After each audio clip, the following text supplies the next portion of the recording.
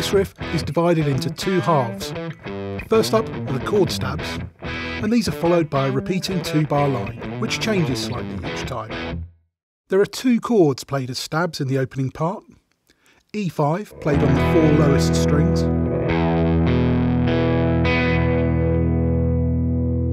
and E7 sharp 9, played up in 6th position.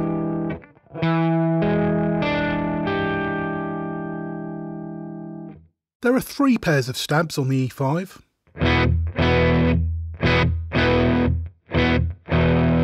And there's one pair of stabs on the E7 sharp 9. The first chord of each pair is on the beat, but the second chord falls just before the next beat. So practice your timing and aim for an early feel on that second stab.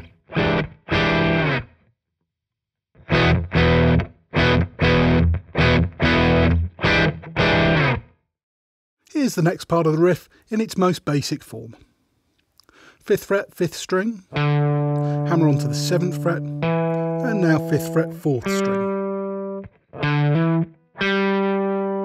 Now play 5th fret and 7th fret again, this time finishing on 3rd fret, 6th string. Next, play a 5th fret to 6th fret slide on the 6th string, followed by 5th fret, 5th string.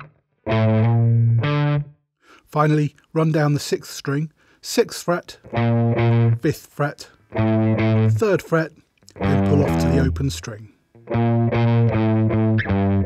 Finish on two E5 chord stabs.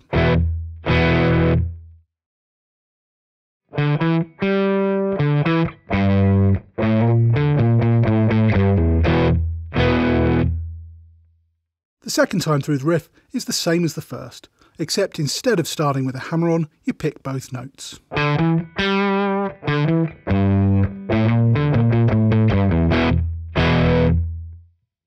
On the third time through, there's an important note change. As you reach the second bar of music, slide up to the seventh fret and not the sixth. Also, on the second chord stab, strike all six strings this time. You should really hear the top two strings.